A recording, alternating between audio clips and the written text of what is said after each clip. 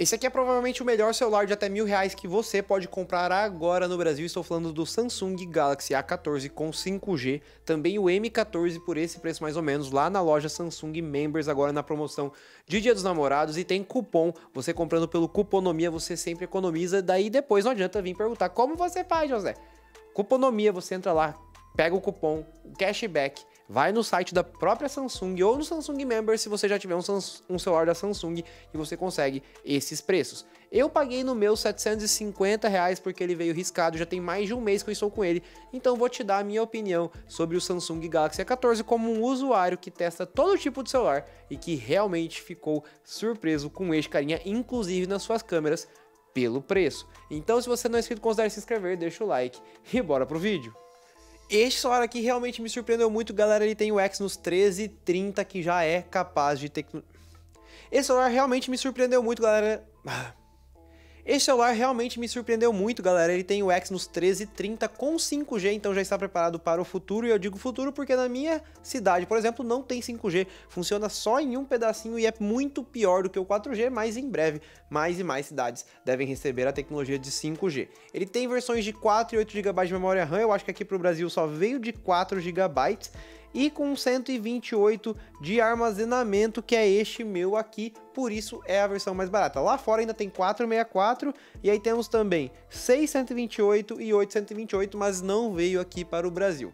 Ele tem aqui na sua traseira sensores de 50 megapixels wide, 2. 2 megapixels macro e 2, ponto, e 2 megapixels de profundidade com abertura f2.4. São câmeras ruins, não são câmeras excelentes, não tem nem comparação com o A54 ou com qualquer celular top de linha. Não é uma câmera que você vai postar e falar, nossa, que incrível! Mas pelos mil reais e perto da concorrência, principalmente dessa faixa de preço, é simplesmente o melhor e disparado, gente. Sério, fiz algumas fotos e vídeos aqui nesse quarto, fiz fotos e vídeos fora também, comparei com o S23 Ultra, A54 e outros modelos. Vou deixar aqui algumas imagens, mas tem vídeo separado mostrando sempre. Tem shorts e vídeos longos também de câmera. E tem uma selfie que é a sua pior parte, que é de 3 megapixels f 2.0 que só grava 1080-30, mas beleza, um celular barato, um celular bem de entrada, e então não tem problema ele não gravar em 4K em nenhuma das suas câmeras. Como eu disse, o processador é o Exynos 1330 e a GPU Mali G68, e ele me surpreendeu positivamente, ele roda vários jogos com alguma tranquilidade. Claro que não é um celular gamer, não é um celular perfeito para quem quer jogar, mas ele roda seu Call of Duty Mobile no modo Frontline ou modo Battle Royale, ele roda também outros jogos mais pesados, ele roda Wild Rift muito bem, Free Fire.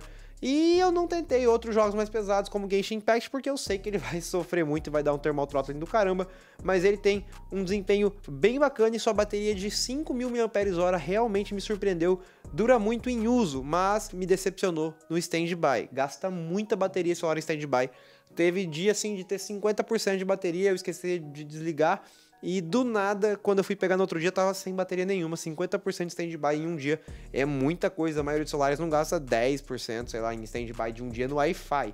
Então isso aí realmente me surpreendeu negativamente. E ele carrega em 15 watts, a Samsung não tem carregamento rápido nem mesmo nos seus tops de linha, claro que não ia ter em um celular tão barato. Ele faz 307 mil pontos no AnTuTu, gente, é o que um Snapdragon 845 fazia, 855. Então temos já um celular de mil reais com desempenho de um top de linha de alguns anos atrás, quatro anos atrás por aí. Ele realmente roda tudo que tem disponível na Play Store. Claro que Genshin Impact, Fortnite ele vai sofrer bastante, mas ele roda. E a bateria dele, cara, no GSM Arena tá com 130 horas de duração. E isso é muito pro ranking do GSM Arena, que é sempre legal de se basear, porque eles são bem é, neutros em teste de bateria. E é a bateria que dura muito, cara. Eu acho que para um usuário normal, tirando o stand-by de vez em quando que gasta muito, ele dá para um dia ou dois com tranquilidade para quem trabalha e não vai ficar toda hora buscando rede. Eu achei bem legal o sensor digital ser na lateral, nessa faixa de preço é tudo na lateral. Eu acho boa essa posição, acho bem confortável. Ele tem entrada de fone de ouvido, que não é todo celular que tem hoje em dia, mas os baratos costumam ter, porque pessoas dessa faixa de preço ainda usam fone sem fio, com fio, porque fones sem fio são mais caros. Então, uma adição legal, a Samsung se preocupar com esse tipo de usuário nessa faixa de preço, mas eu gostaria de ver em outros celulares mais caros, com um DAC, né, um Digital Amplifier muito bom. Sua tela é PLS LCD, né? 90 Hz de 6.6 polegadas, 1080 por 2408 20 por 9 com 400 ppi. Olha só as telas de hoje em dia, até celulares baratos com mais de 400 pixels por polegada. E ele pesa 202 gramas, ele tem uma, um plástico, é, um frame de plástico e uma traseira de plástico. Mas pelo preço de mil reais eu achei ele bem bonitinho, tá gente? Bem acabado. E essa tela PLS LCD, que é de plásticos, deve ser, né? Esse P aí, tem bordas bem grandes em cima e embaixo, mas é um celular que é barato, ele não tenta disfarçar a sua barateza. E uma das partes mais caras seria a tela, então a Samsung economizou aqui na tela para termos um celular que realmente é barato. E por mil reais, cara, ele vale muito a pena. Mil, mil e cem reais, ele é muito bom. Por 750 que eu paguei semi-novo, tem uns riscos mais feios na tela. Ele também valeu bastante a pena. Então, gente... Esse celular que realmente me surpreendeu. Eu já testei o Realme C35 ano passado, o Realme C55 esse ano, que são celulares baratos, cada vez melhores com LG 99, e a Samsung se espertou porque senão a Realme ia dominar essa faixa de preço. O A13, o A12, o A11 realmente eram bem ruins. O A14 é o primeiro celular da linha A que eu realmente recomendo. Pode ter, procurar aí no canal que nem um ano eu recomendei celular da linha A, porque eles custavam o mesmo preço de outros modelos de outras marcas, melhores que a linha A12, A13 e A11, mas o A14 realmente vem muito bem com 5G, com o Exynos 1330, com um bom desempenho, com uma boa bateria. Eu fiquei realmente muito surpreso e pelo preço, eu acho que não tem como errar comprando este carinha aqui. Vale a pena, sensacional. Minha experiência com mais um celular baratinho.